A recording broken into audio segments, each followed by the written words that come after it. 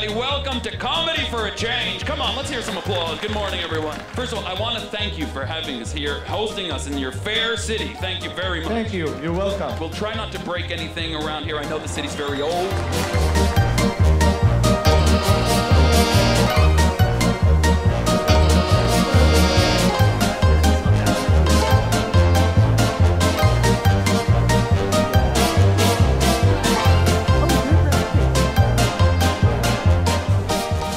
Okay, I hope you're ready to rumble. And this is Comic Annihilation. Three quarters of an hour to solve the Middle East conflict?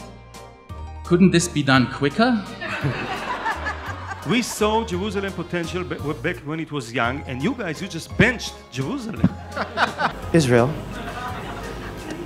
we can do so much together. I don't get this. Do you not know that I like you?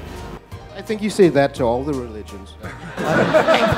Um, a Muslim from Denmark, a Palestine from New York, and a Jew from Amsterdam went to the Western Wall. Are you Jewish? Yeah, yeah, I, probably. That's So a I'm Egyptian, so I'm somehow you guys wearing. the office, the office always had kind of like a more affluent um, audience base. So they were the first people to get the uh, the video iPods, and then they started downloading the office, and it just kind of became a thing. Politicians try to use comedy, and comedy abuses politicians.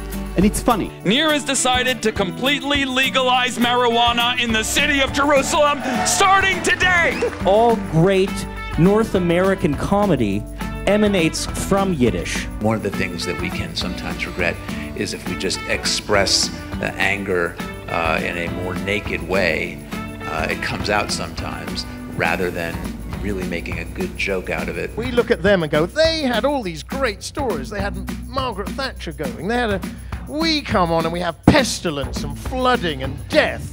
We once had a whole show with Yitzhak Rabin, and that was about five years after he was murdered. and war and maiming and babies dying and whatever it is and all the stuff you cannot do comedy on. Um, I, seriously, I think if you don't like change, you should go.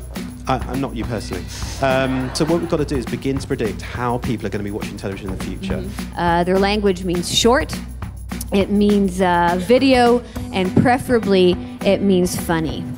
If for some reason you still don't think that comedy can make a change, I have three words for you. Uh, Kim Jong Un.